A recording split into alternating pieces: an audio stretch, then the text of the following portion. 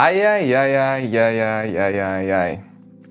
Hovorí sa, že keď ti niečo dlhodobo vychádza, tak proste v jednom bode sa to musí pokaziť a ten moment, kedy sa to pokazí, pre Vanser prišiel práve teraz. Už som tu zažil lepšie produkty, zažil som tu horšie produkty, ale tento produkt, prosím pekne, si zaslúži asi vlastnú kategóriu, takže sa poďme pozrieť na to prečo. Vanser Trigger je na papieri naozaj že extrémne zaujímavá podložka. Gumový base je síce klasika, ale miesto nejakého plastu, textilu alebo skla tu máme nový zaujímavý materiál a tým je karbon. Karbonová podložka to už od základu znie strašne zaujímavo a tak som si povedal, že však pri najhoršom z toho bude aspoň zaujímavé video. A musím potvrdiť, zaujímavé video z toho naozaj bude, no nie úplne také, aké som pôvodne čakal. Nepôjdem na to teraz tak klasicky, ale rozoberme si všetky tvrdenia z ich stránky.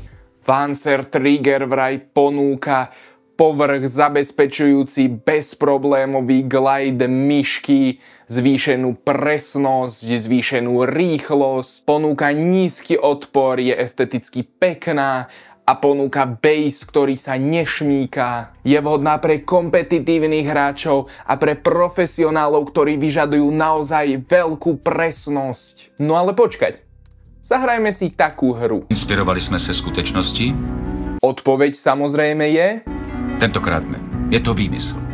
Vancer Trigger je teda síce bezkonkurenčná, no bezkonkurenčne zlá podložka. Zatiaľ som tu nemal produkt, ktorý by slúbil tak strašne veľa a zároveň doručil tak strašne málo. Podložka nie len, že je extrémne nepríjemná na ruku, ale nedá sa používať ani so slívom vôbec, nehrozí. Ten výborný glide a speed a presnosť to asi videli iba niekde vo sne, pretože akékoľvek skatey na tejto podložke použijem, tak je extrémne pomalá, zadrháva sa a je nepríjemná. Keďže je to prakticky hardpad, tak táto podložka je ešte aj extrémne nepohodlná, no a aby toho nebolo dosť, tak táto atrapa podložky pod myš stojí 80 eur.